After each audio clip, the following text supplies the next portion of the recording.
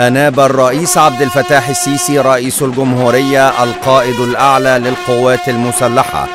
الفريق أول صدقي صبحي القائد العام للقوات المسلحة وزير الدفاع والإنتاج الحربي. لوضع إكليل من الزهور على النصب التذكاري لشهداء القوات المسلحة بمدينة نصر.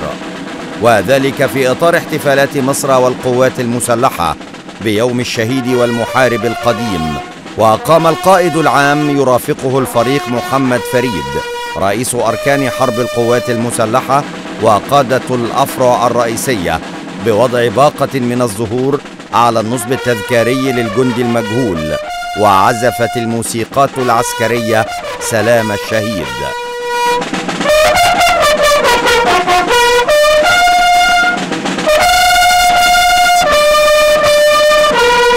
ثم توجه الفريق أول صدقي صبحي.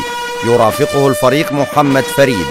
إلى قبر الرئيس الراحل محمد أنور السادات لقراءة الفاتحة ترحما على روحه الطاهرة.